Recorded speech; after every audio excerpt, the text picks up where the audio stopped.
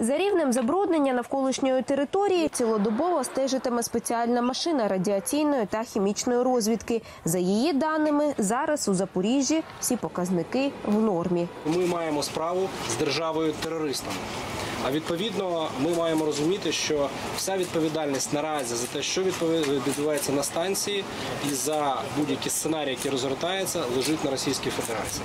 А ми маємо готуватися до різних будь-яких сценаріїв, які можливі в зв'язку з цим. Протягом останніх тижнів окупанти неодноразово обстрілювали Запорізьку АЕС та лінії електропостачання, якими вона з'єднана з енергосистемою України. Через загострення ситуації на Запорізькій атомній станції на базі енергоатому посадовці створили кризовий штаб.